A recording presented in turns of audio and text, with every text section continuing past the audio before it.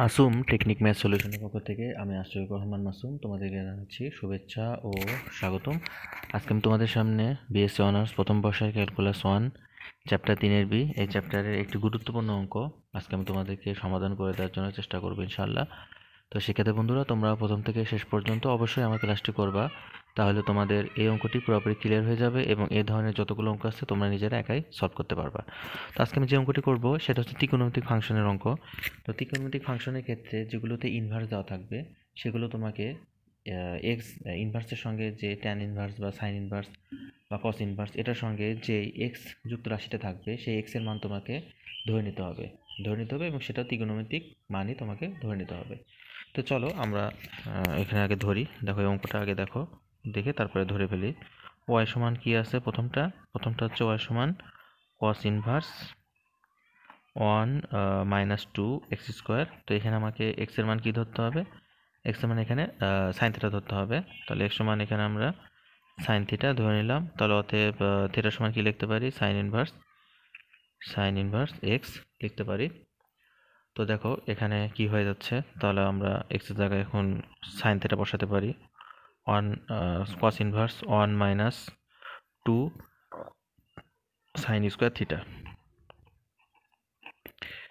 তাহলে one minus two sine square theta সমান হচ্ছে কস টু থিটা এই সূত্রটা তোমাদের মুখস্থ রাখতে হবে। তাহলে এখানে হয়ে গেল দেখো cos inverse one minus two sine square theta মানে হচ্ছে কস টু থিটা তাহলে এই কস ইনভার্স আর কস কেটে গেলে থাকে কি শুধু টু থিটা আচ্ছা থিটার মান কি বের করে রাখছো?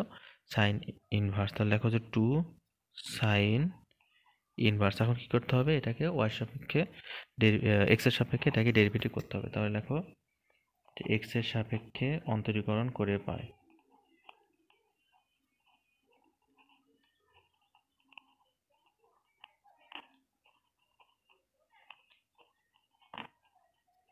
তাহলে এখানে হবে কি? ডি ওয়াই বাই ডিএক্স হবে। আর এখানে হবে two d dx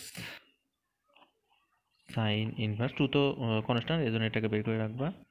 আর এখন সাইন ইনভার্স এক্সকে ডিফারেন্সিয়েশন ডিফারেন্সিয়েশন করলে বা অন্তরীকরণ করলে কী হবে? One by root over one minus x square হবে। তাহলে হবে কি two by root over one minus x square এটা হবে কি? অ্যান্সার তো আশা করি সেক্ষেত্রে মধ্যে বুঝতে পারছি, এটা খুবই সহজ অঙ্ক। তো চলো এখন আমরা সেকেন্ড যে অঙ্কটা, সেটা সমাধান করব। সেটা হচ্ছে কি ওয়াই সমান sine inverse one minus x square by হচ্ছে ওয়ান প্লাস এক্স স্কোয়ার এই অঙ্কটা এখন আমরা সমাধান করে ফেলব। দুই নম্বরটা।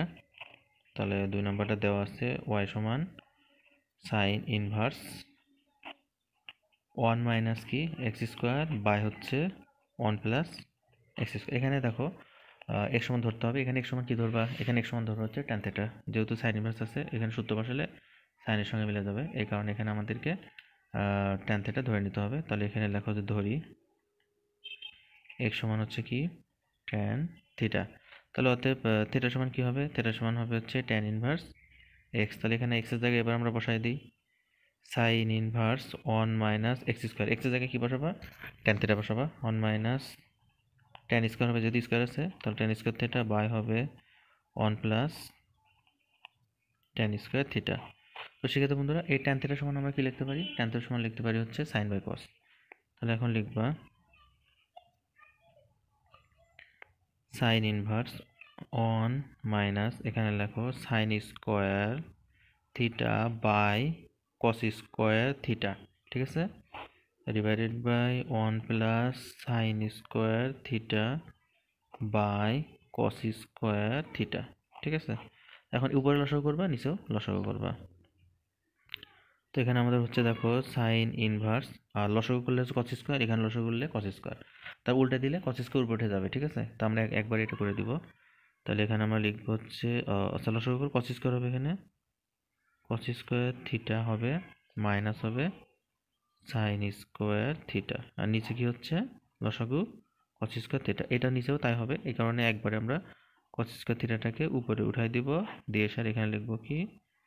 কস স্কোয়ার থিটা প্লাস লিখব হচ্ছে সাইন স্কোয়ার থিটা তাহলে দেখো এই cos square theta cos square theta কেটে গেল। আর এই sine square theta plus cos square থিটার মান কত? ওয়ান তাহলে আমরা এখানে লিখে ফেলব sine inverse sine inverse cos square theta minus হচ্ছে সাইন স্কোয়ার থেটা আর নিচে হবে কি? Cos square theta plus sine square theta এর মান হচ্ছে ওয়ান কারণে ওটা আমরা লিখব না। এখন আমরা জানি কি কস স্কোয়ার থেটা মানে সাইন স্কোয়ার থেটা মানে কি? কস স্কোয়ার থেটা মানে কস সাইন স্কোয়ার থেটা সমান হচ্ছে কস টু থেটা এটা কস টু থেটার সূত্র। তাহলে এখানে সাইন ইনভার্স লিখবা, লেখার পর এটার সময় কি লিখে ফেলবা? এটার সময় লিখে ফেলবা হচ্ছে কস টু থেটা তো আমরা এতক্ষণ এই অঙ্ক করেছি বা এর আগে কয়েকটি লেকচার তোমরা আমার দেখেছ, ওইখানে কি আসছে? এই ব্র্যাকেটের ভিতরের মানটা, এই মানটা কি আসছে? বিপরীত আসছে, তাই না? এটা ইনভার্স আসলে এটা তার বিপরীত আসছে। কিন্তু এখানে দেখো কস থেটা চলে আসছে।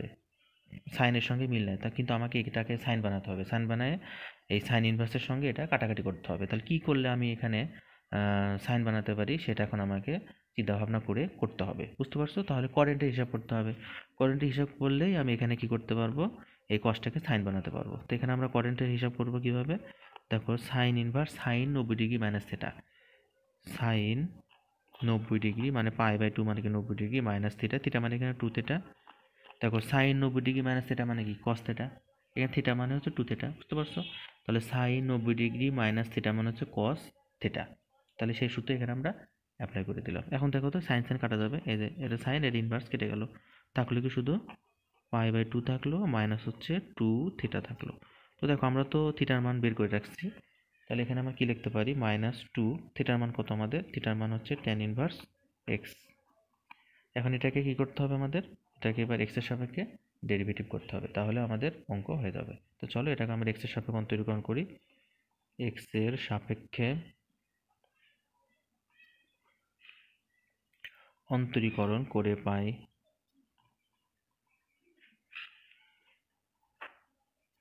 এক্সের সাপেক্ষে অন্তরীকরণ করে পাই, তাহলে আমাদের বাম দিকে হবে ডিওয়াই বাই ডিএক্স আর দেখো পাই বাই টু এটা কনস্ট্যান্ট কনস্ট্যান্টকে ডেরিভেটিভ করলে কী হয়? শূন্য হয় মাইনাস টু থাকবে। আর টেন ইনভার্স এক্সকে ডিফারেন্সিয়েশন করলে কী হয়?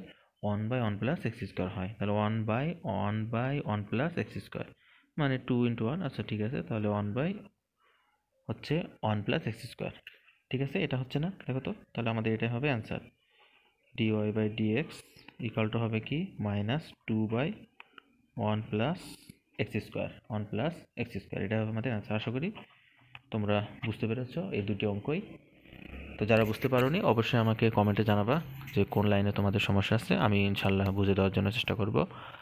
আর যদি আমার ক্লাসটি তোমাদের ভালো লেগে থাকে, তাহলে অবশ্যই বেশি বেশি করে শেয়ার করবা, যেন তোমাদের ফ্রেন্ড সার্কেল আমার এই ক্লাসটি দেখে উপকৃত হতে পারে।